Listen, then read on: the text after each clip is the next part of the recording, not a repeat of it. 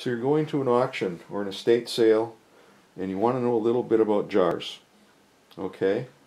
Well, first you should know what jars are not collectible.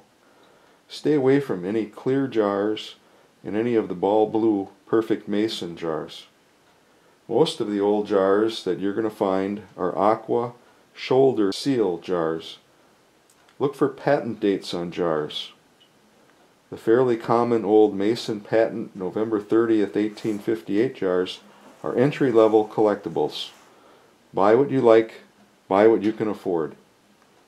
One type of aqua jar that you may find is called a midget, midget mason patent jar. These little pint jars are shaped like a quart and are worth about $40 and up and have a small lid size. Check out the lid for condition. About half the value of the midget jar is in its lid. Note that these lids have a metal lug soldered on their side.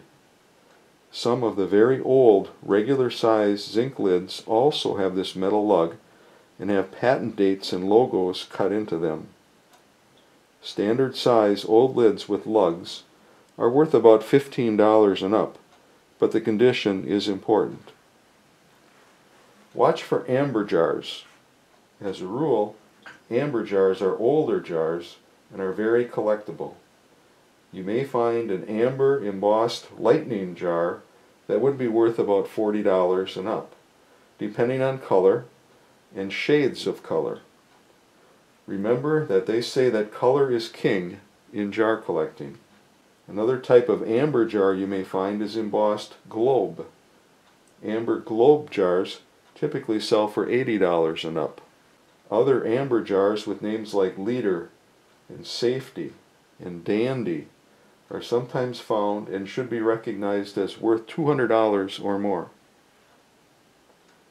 Notice that the globe, leader, and dandy and many other jars have unusual closures. Jars with unusual closures are almost always collectible, regardless of color. When you're looking at jars, Watch for damage. Chips and cracks can reduce a jar's value by a lot.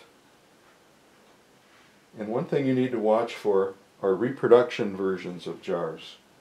Trying to figure out if a jar is a reproduction.